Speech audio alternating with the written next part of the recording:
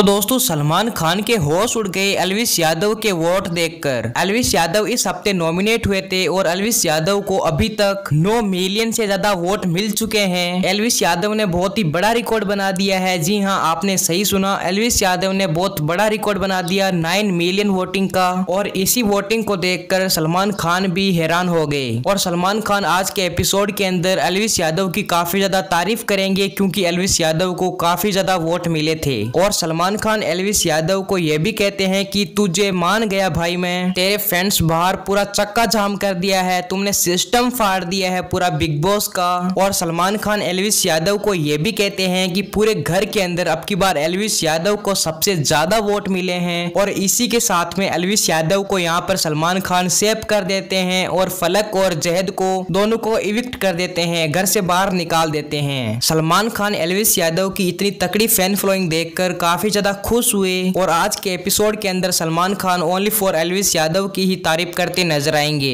तो अगर आपको फुल एपिसोड देखना है तो चैनल को सब्सक्राइब करके बेलाइकन कॉल पर सेट कर लो and thank you for watching bye